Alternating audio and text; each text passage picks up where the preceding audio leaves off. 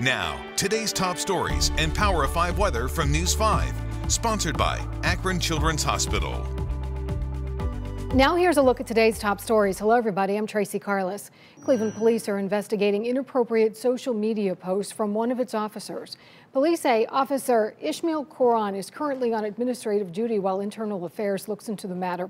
The president of Cleveland Police Patrolmen's Association said the tweets in question are from more than 10 years ago. News 5 has learned that he was Officer of the Year in 2019. Coventry Village in Cleveland Heights hosted its third annual Juneteenth celebration today. The event featured vendors from more than 80 black-owned businesses.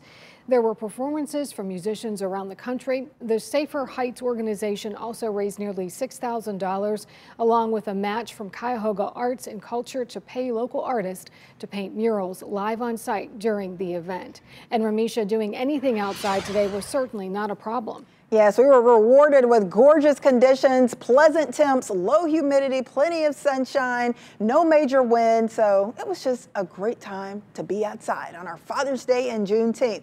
Just as nice tonight, you will notice the clouds if you look up getting a little thicker, but we should stay dry. Temps dipping to the upper 50s, wind switching to the south around 5 to 10 miles per hour. We've got a warm front that will lift over us for Monday. That means temps are getting cranked up to the low 80s likely for Cleveland, likely middle 80s a little bit farther south.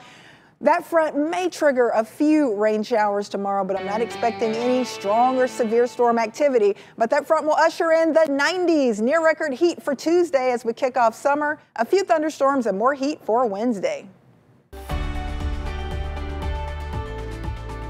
Sponsored by Akron Children's Hospital.